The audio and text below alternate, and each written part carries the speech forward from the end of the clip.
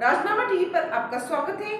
मैं प्रिया, आपके साथ। इंडियन मेडिकल एसोसिएशन के प्रेसिडेंट अशोकन ने कहा कि बाबा रामदेव ने उस समय सभी हदें पार कर दी जब उन्होंने कोविड 19 ठीक करने का दावा किया। उन्होंने कहा कि रामदेव ने मॉडर्न मेडिसिन को स्टूपिड और बैंक साइंस यानी बेकार और दिवालिया विज्ञान भी कहा था। एक न्यूज़ एजेंसी को दिए गए इंटरव्यू में अशोकन ने ये बातें कही। भ्रामक बयानों को लेकर सुप्रीम कोर्ट की तरफ़ से रामदेव और पतंजलि आयुर्वेद को फटकार लगाए जाने के बाद आईएमए की तरफ़ से पहली बार कोई बयान दिया गया है।